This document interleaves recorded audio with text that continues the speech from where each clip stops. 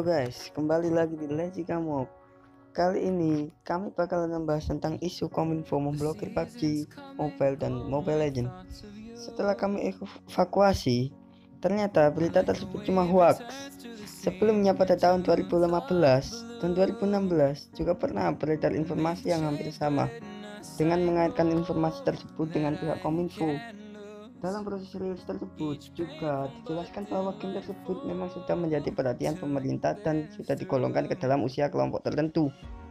Menurut Kominfo, para pemain video game yang berusia di bawah usia 13 tahun tidak diperbolehkan memainkan game yang memiliki muatan kekerasan dan aksi-aksi brutal.